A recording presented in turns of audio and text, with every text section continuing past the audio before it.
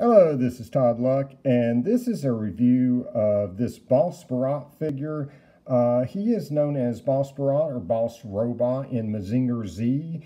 In Tranzor Z, which is the American version, he is known as Bobobot. Um, the character in, who rides him in Japan is called Boss, and the pilot in America is called Bobo. So he's called Bobo Bot in America. And that's why I'm going to be referring to him as here because I love him in Tranzor Z. And my God, is Bobo Bot the most fun thing to say ever. So we're going to be calling him Bobo Bot.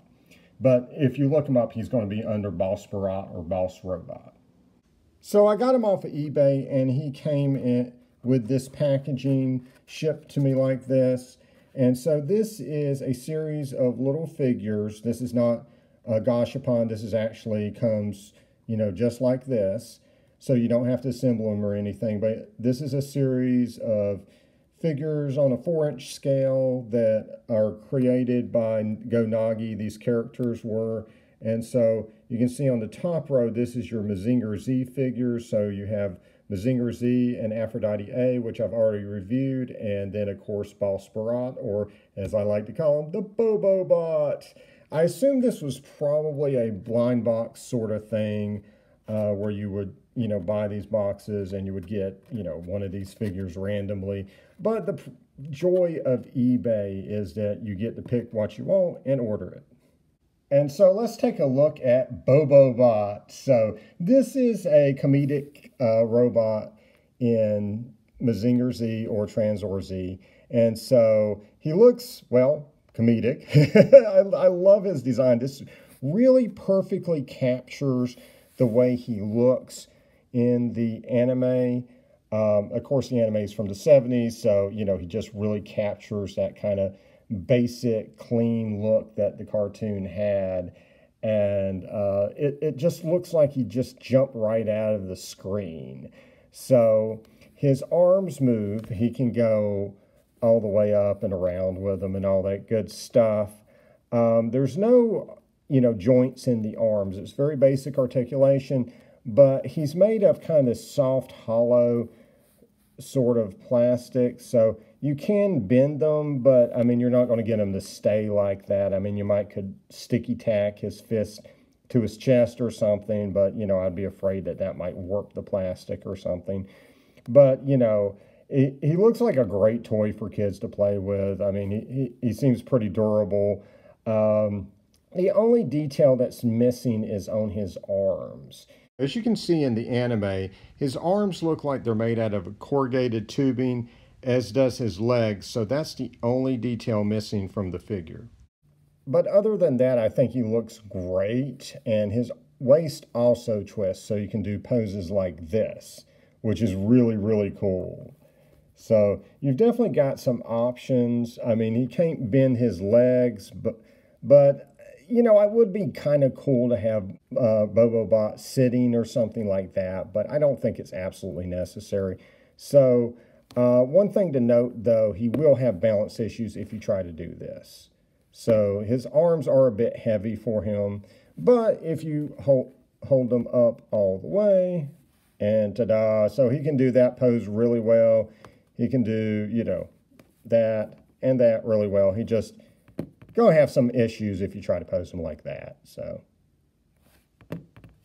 so our dear friend Bobobot here is a little over three inches tall. And so he's a little short for this series, which comes to about four inches tall. But that's natural because he is a shorter robot than Mazinger Z or Aphrodite A or Tranzor Z if you're in America. So that's perfectly in keeping with the character, and he looks great. He looks like he fits right in and is directly out of the anime when comparing him with Aphrodite A here, who is in the same series. So that's pretty much why I got him because I want to pose him with her and with another figure. So here he is with the reaction figures I have from Mazinger Z. And so the reaction figures are three and three quarter inches tall. So he's going to be a little bit too big to be accurate to Mazinger Z, but he's going to be close enough to be passable with these figures. Um, if you do want a perfect Mazinger Z to put with him, there is a Mazinger Z in this same series that this Boss Borot came from, so you can get that. But since I've already bought uh, a three and three quarter inch Mazinger Z, I think I'm going to go with that. We'll see. I'll be opening these reaction figures pretty soon, so I'll be doing a review and we'll see how I feel about it. So here he is with the buildings from the Godzilla Pack of Destruction figures that came out several years ago, and also with a different Godzilla figure that's on a three and three quarter inch scale. Um, as you can see, he's a little bit big for a three and three quarter inch scale, but he's still passable.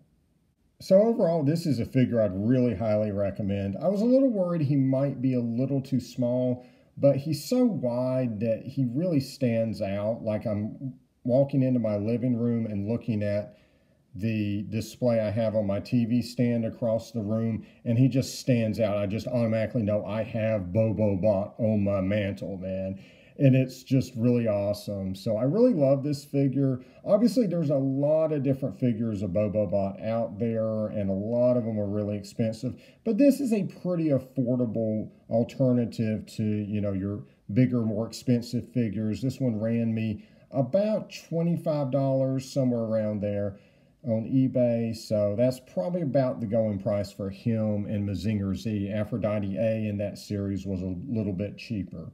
So anyway, I have more reviews coming, including a review of Tranzor Z, the series. So like and subscribe for more videos. And until next time, just remember the Bobobot is the best robot ever. He is the best. Bobobot is awesome.